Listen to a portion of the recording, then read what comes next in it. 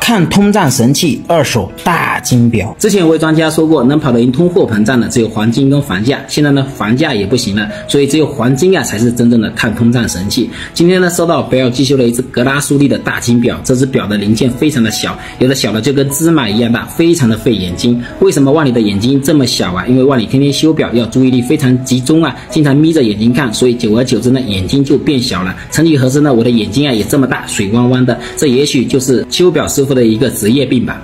格拉苏蒂原创产自德国，德国严谨的工艺啊，品质没得说。这只表呢，除了厚啊，没有任何其他缺点。它的通体啊，由十八 K 金打造，它的工价是二十个。如果就算你现在工价入手的这只表，只要传到你孙子辈啊，我觉得卖黄金啊都不止卖二十个。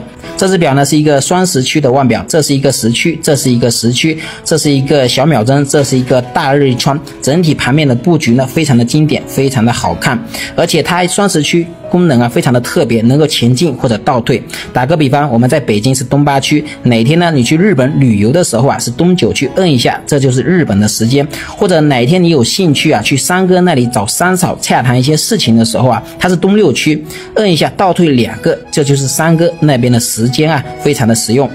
这个机芯啊，非常的漂亮。只要看见黄色的部分啊，基本上都是由黄金打造。包括这个自动锤的边缘以及平衡快慢的上面的小螺丝啊，都是明晃晃的金子啊，非常的豪横。标志性的德系腕表的四分之三夹板以及双鹅颈微调啊，简直是美出天际。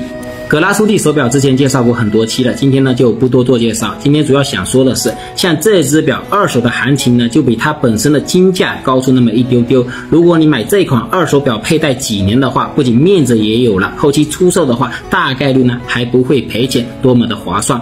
万里呢就是带了一只按金价回收的海鸥大金表。每每想到这里呀，我就非常佩服自己，我不仅是一个修表小能手，而且是一个理财小天才。